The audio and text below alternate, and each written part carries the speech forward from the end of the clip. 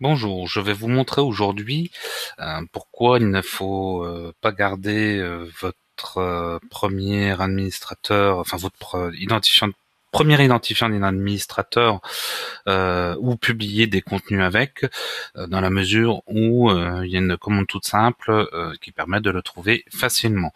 Donc là, j'ai pris un site, un site de test.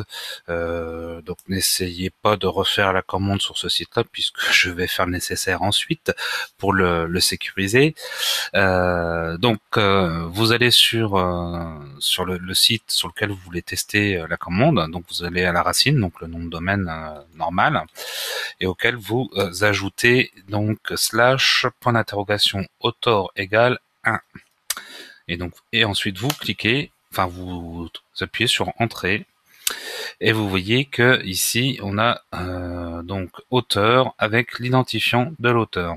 Donc avec cette commande là et donc cet élément, les pirates savent quel identifiant euh, tester pour essayer de pirater votre site. Donc il ne leur reste plus qu'à euh, trouver votre mot de passe. Et ça c'est une chose qui est assez facile pour eux, surtout si vous n'avez pas mis un mot de passe euh, fort, puisqu'ils vont lancer un programme qui va le faire automatiquement, qui va tester tous les mots de passe les uns derrière les autres. D'où l'utilité de d'utiliser un mot de passe compliqué et euh, de sécuriser votre site avec une extension qui euh, arrêtera les tentatives au bout d'un certain nombre. Donc moi je conseille 10, euh, puisque bon bah si au bout de 10 fois on n'a pas trouvé le bon mot de passe, on peut on peut penser que ce soit quelqu'un d'illégitime. autant ne pas lui permettre de trouver en testant tout.